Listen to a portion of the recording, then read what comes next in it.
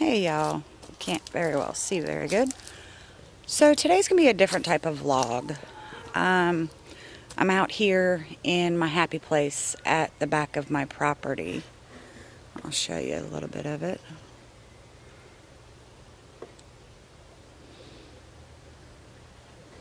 It's not very pretty looking, but to me, it's quiet back here. All you hear are the animals and the stream is back here, which in the summertime, in this hot, hot Florida weather, is really nice because it's always cold. But when I have thinking to do and want to be alone, this is where I come. And of course, we need to do a lot of cleaning up after the hurricane still because trees came down over the stream but I just wanted to talk a little bit and let y'all know what's going on. About to fall over. So while I talk, I'm going to turn you around and let you watch this pretty stream flowing. So give me one second to turn you around. Isn't that pretty? The sun shining across parts of it.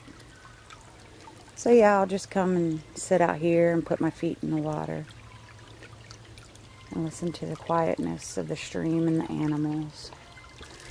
But anyway, some of you know that my husband and the kids and I have had pretty hard life so far up until about a year ago.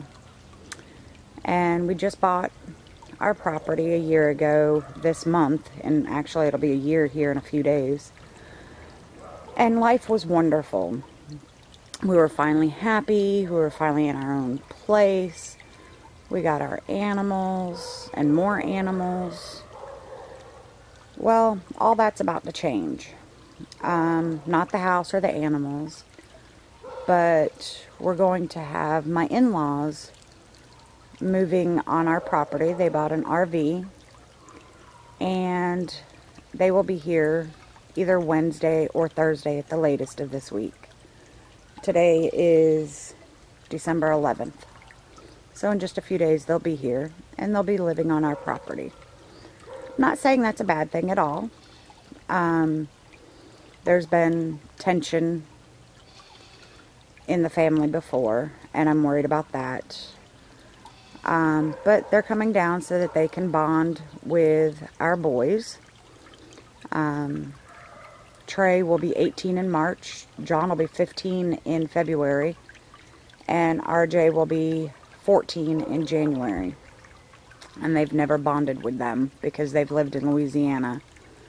And we've either been here in Florida or when my husband was on shore duty in Virginia. So it's going to take a lot of adjusting on our part. And I'm worried about that. Um,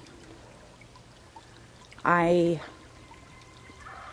have to learn to let go of some chores and some stuff. You guys know I love to cook, and I'm going to have to relinquish some of that and let them help with the cooking and the baking and stuff like that. And that's going to be hard for me. And I know, I pray it doesn't, but I know until I can adjust that it's going to cause issues. And I've got to just bite my tongue, and that's hard for me to do as well. Um, they will be in their own RV um, but they'll be spending, you know, all day in with us. So my question is, what do you guys do when you get stressed and need alone time? Where's your happy place? Do you go to it often?